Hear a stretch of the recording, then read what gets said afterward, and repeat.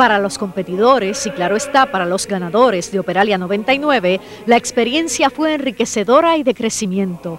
Un paso más en la carrera de jóvenes cantantes en busca de la oportunidad de sus vidas. Un grande onore cantare nello stesso concerto eh, come il maestro Placido Domingo. Ovviamente anche un grande onore cantare in compagnia dei colleghi, dei vincitori di questo concorso Operalia 1999 Para ellos se trató de algo más que trabajo, compartiendo con jóvenes de todas partes del mundo. Se divirtieron muchísimo y quién sabe si de aquí salgan otros tres tenores.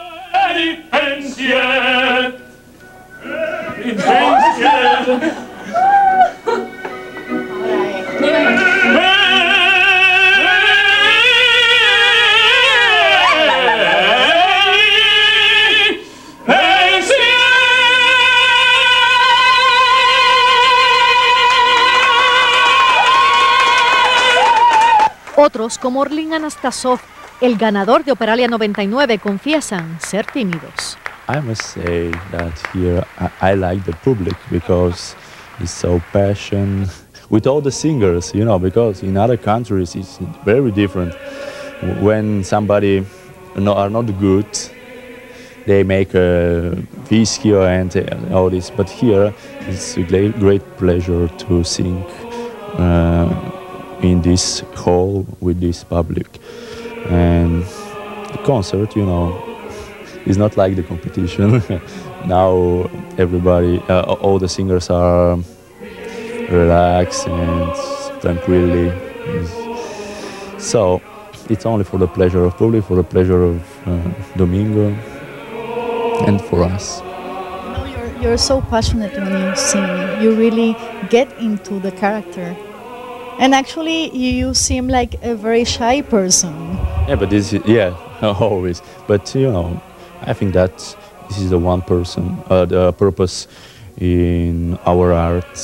It's not, I, I think that the, the voice, the singing is not so important.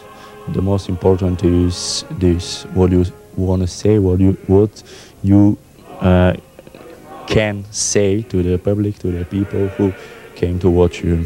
Fue el tenor mexicano Rolando Villazón quien se robó el corazón del público puertorriqueño.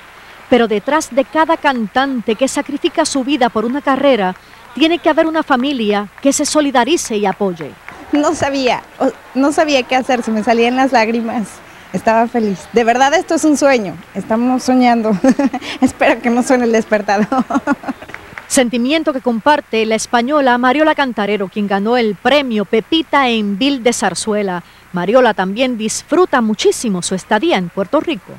Una emoción increíble, lo que pasa es que es casi tan cortito que no me da tiempo a disfrutarlo, me hubiera gustado tirarme ahí toda la vida, pero, pero muy contenta, muy feliz. Un sueño, por favor. Molto Molto? Mira, mira, no. Ya. ya, ya, ya. Ya, ya está.